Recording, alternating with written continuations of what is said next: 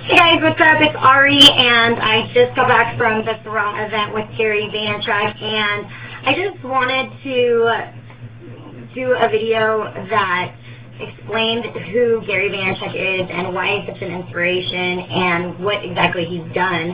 Um, I was able to spend uh, some time with him after the event, got dinner with him. He's just such a humble, legit guy, but he is huge. He's doing so many major things. It doesn't even do him justice for me to explain it. So let me give you a quick little Gary Vaynerchuk montage and explain to you what he's all about. Through his love for wine into a booming business, he's the host of WineLibraryTV.com and the author of the forthcoming book, Crush It!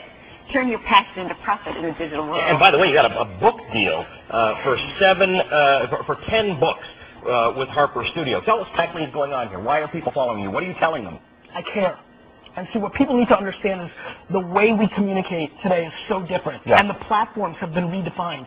You know, I was a wine shop owner in New Jersey, had a passion about wine, took a camera, started putting it out there, and just put it out there and just hustled. Worked every day, answered every email, and so Which let- were- were- initially were wine questions, questions about wine. Absolutely. The first two years, I didn't really play my business card until like late 07 about how I did it. Everybody just thought I was crazy and ate dirt with Conan O'Brien, and that's how it happened. but at the end of the day, what I realized, what I saw in late 05 was that the the world's completely changed. Marketing has changed, business has changed, personal brand has changed. It's a two-way conversation now, Ali. You know, it's not just we dictate. People want to interact, and uh, I interact a lot. Okay. You're on the leading edge of that. You're on the leading edge talking back to people. People are getting through the traditional forms of media because they want to get the information that they, they want you're giving it to them. No question. People want to, you know, touch and feel their brands, their celebrities, their products. You know, you think it's hard explaining Twitter today? I've been using this since 06. Wow. So, okay, you well then can you explain it? Yeah. But we're, we're both on Twitter, Yep. as you are, but we don't have nearly the got, I following that you have. I got lost a little bit because I don't do it as frequently as I should. If you're doing it, you're having a short conversation. It's like the running thoughts in your head to the people who want to hear what you have to say. People have a billion different things. Here's what it really is. It's word of mouth on steroids. It's the fact that you could put something out there and the people that care about that, if it's quality, because content is always king. If it's Right. quality, it gets expanded in so many directions. And that's the real power of it. Everybody now has a voice. It's not just certain select few. All right, so I want to uh, put this up on screen to show people, and this applies to entrepreneurs or, or big businesses. You're saying, you said content is king. king. Create content. Yes. Treat Twitter as a cocktail I party. love that. I love that. So a lot of people are confused of how to use Facebook and Twitter and Tumblr, which is a site that a lot of people will be talking about in a couple of years.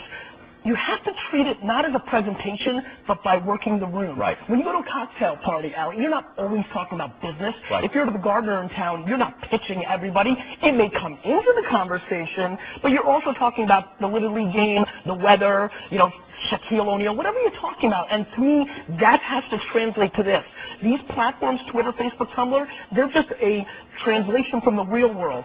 You know, somebody said to me, uh, treat it like a bit of a give and take. If you were in a cocktail party and you just did all the talking and it was just a pitch and it was just all about you, people will get a sense of that. Invite others in. Uh, retweet on Twitter, for instance, or send out on Facebook other interesting things that you learned that you thought the people who are your friends might want to know about. You know where that started wrong? Somebody told me, just do it. Right. Just come from here. You come from the heart and you treat it as a real product, not like, how am I going to use this? Everybody's trying to figure out how to game it, how to use it.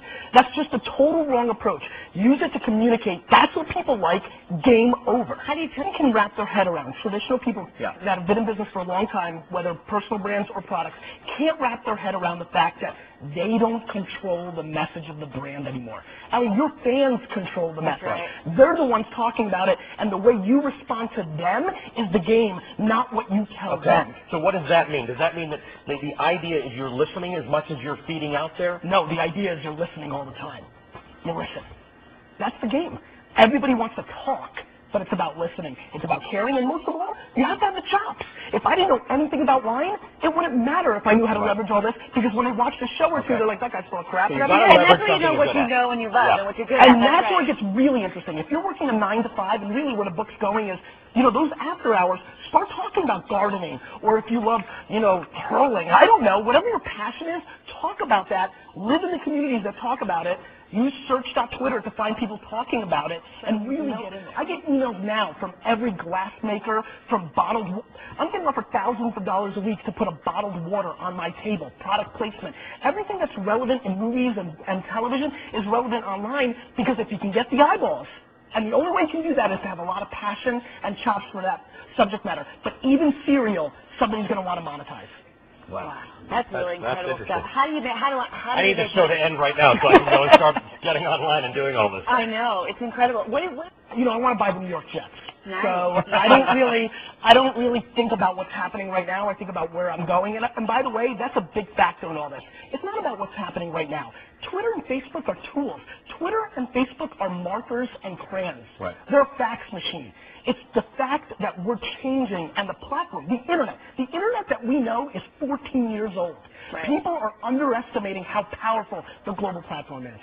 This is fantastic. Thank this you. Uh, is very exciting. Uh, and when you're when you're out tweeting, just uh, ask a few people to join us. You got it. uh, you and I are going to have to kick it up on I know. Well, wait. Okay. I mean, I'm, I'm embarrassed after Tell this. us how to kick it up a little bit. What are we tweet? Okay, after this discussion, we're going to go and tweet. And what are we telling them? We're telling them that you're Once again, you're missing the point. and I'm not joking. Okay. Go to search.twitter Yeah. and search your names. See what people want from you and give it to them. Right. They say, Ali, what's your favorite sport? Soccer. I mean, I don't know. I made that Huh? up. But you know what I mean. I mean, that's what you want. I was waiting for a second they curling don't- joke They don't, I'm Canadian. they don't. They don't want.